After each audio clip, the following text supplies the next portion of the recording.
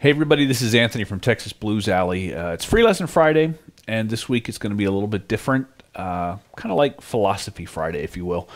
Uh, from time to time, I interrupt my normal lessons to share with you a little bit of my perspective on different things relating to this blues style of guitar. And the reason I do that is not because I expect everyone to agree with me, but it's because there are certain ways of thinking that I went through as I was learning that were unhealthy, uh, that I've gotten past, and I enjoy myself and my playing a lot more now because of that. And I offer it up because maybe it's going to be helpful to somebody else who can save themselves years of chasing after something they're never going to catch. So this week I'm talking about speed and the idea of playing fast and why it matters, if it matters. Um, the reason is because in a couple weeks I'm going to be putting out the first in a series of courses about the topic of building your speed as a guitar player, specifically for blues guitar.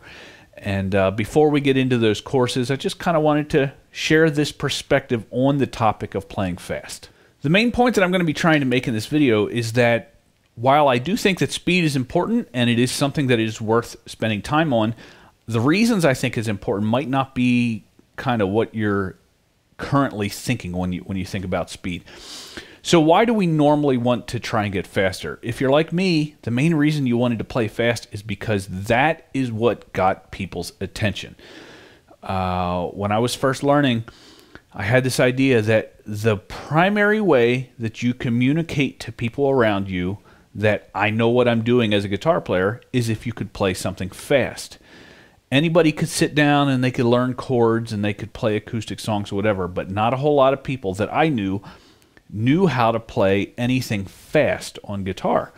Um, and if you're as hungry for attention as I was when I was first learning, uh, I desperately wanted people to to know that I was good at playing guitar because then they would respect me more. And so I focused a lot on trying to learn how to play things fast. And when I would study guys like Hendrix or Stevie Ray Vaughan or whatever, the things that I gravitated towards were the things that were the fastest. And I would just sit there in front of my CD player over and over and over again, and I'm trying to learn this stuff. Uh, the benefit to all that is that I did learn some of it, and I did develop speed. The problem is, I thought that once that happened, it was game over. I'd be booking gigs, I'd be impressing people.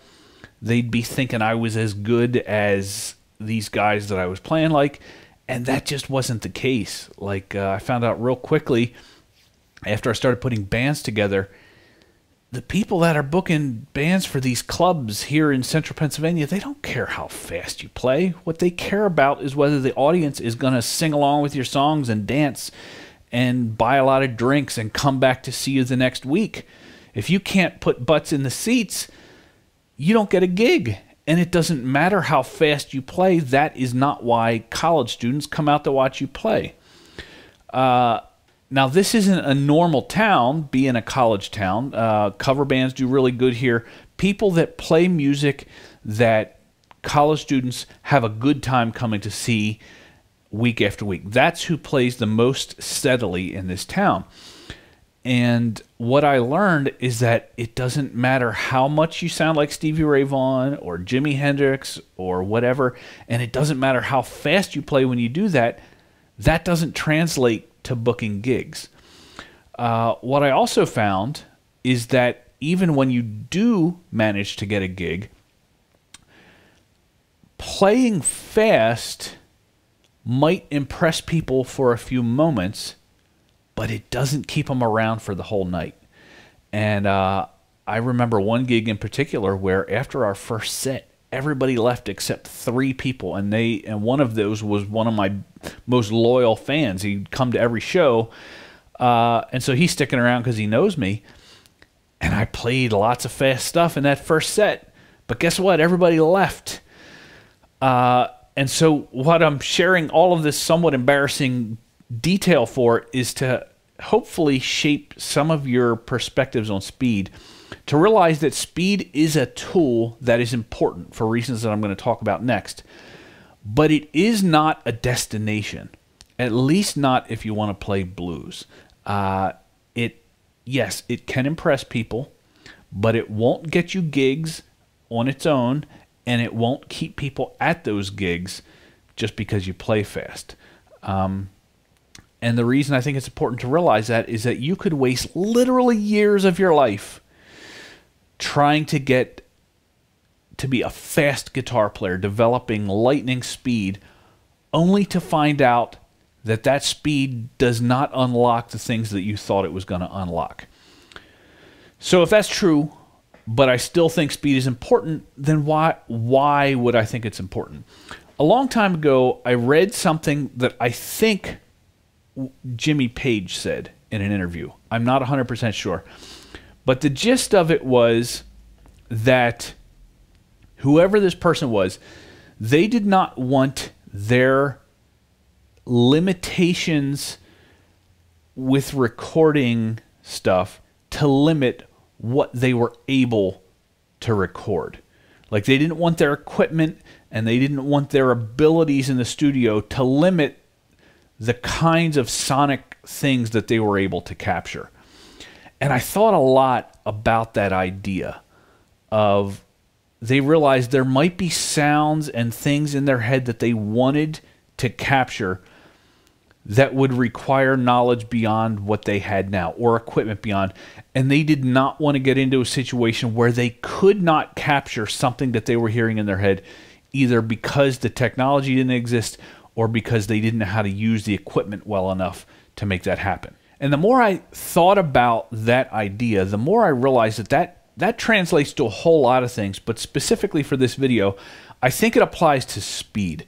Um, I think that speed matters not because speed has value in and of itself, but because the ability that it takes to play something fast is basically headroom for your expression as a guitar player. If you're not familiar with the concept of headroom, headroom is the amount of space between what you're doing now and where you run out of places to go.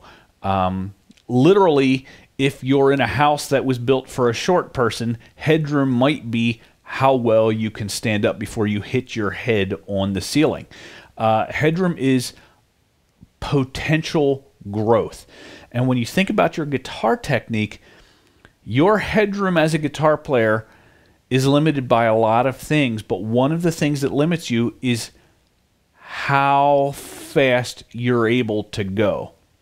The reason I think that's important is because there are some things musically that are best expressed fast. There are other things that are best expressed slow.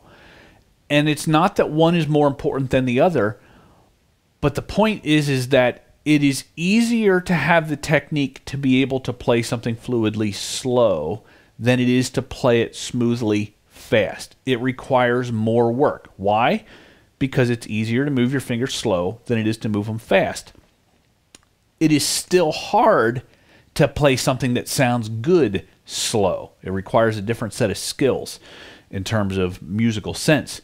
Um, but the fact is, to play something fast and to play it cleanly requires pushing your technique to another level. But it's important that as you do that, you not confuse what you're doing with being a better guitar player because you can do that. What you're doing is you're creating space to potentially be a better guitar player. Better in the sense of you can communicate more ideas because now you have the technical ability to play things slow and you have the ability to play things fast if the music calls for that. Now, this isn't just um, a modern guitar thing. If you go back and listen to some classical music, there are things in there, there are pieces that were written hundreds of years ago that it takes a virtuoso musician to play. Speed is nothing new, but it's not like the whole classical piece was fast from beginning to end. Speed is a musical tool that is used to communicate certain ideas in a way that only speed can do. And the reason I think that you work on your speed, you work on your dexterity, you work on just the physical ability to move your hands fast at different places on the fretboard.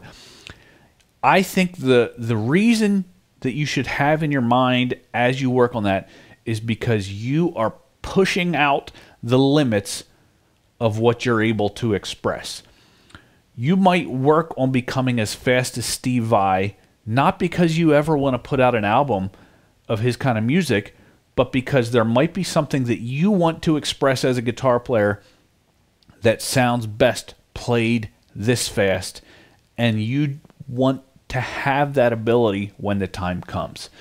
Um, so, in conclusion, I think speed is important. I think it is worth you investing time in, a lot of time to work on, as long as you're not doing it being under the impression that once you develop the speed, automatically people are going to bow down and think that you're the, the best guitar player. There's a lot of fast guitar players. I mean, just do a search on YouTube for people doing guitar demonstrations. You'll see people playing.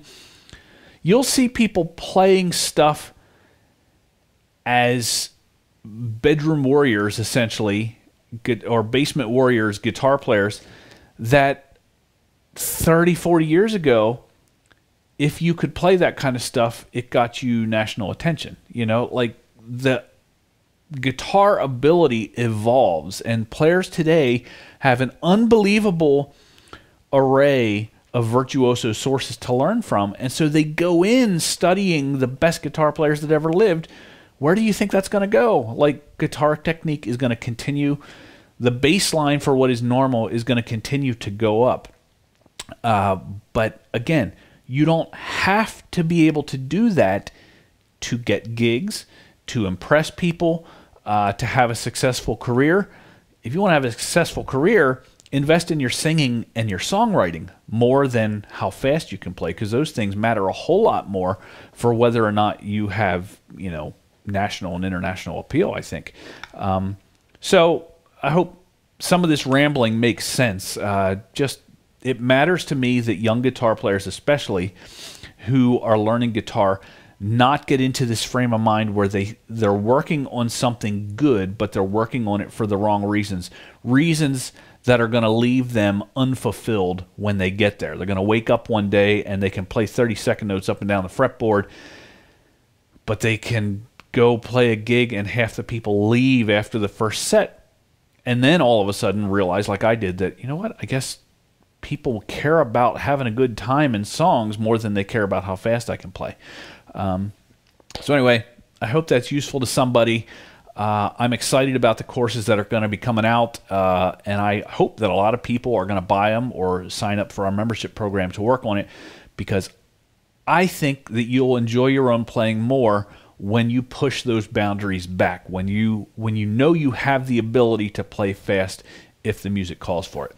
Anyway, we'll be back to more normal free lessons soon. So until next time, thanks for watching.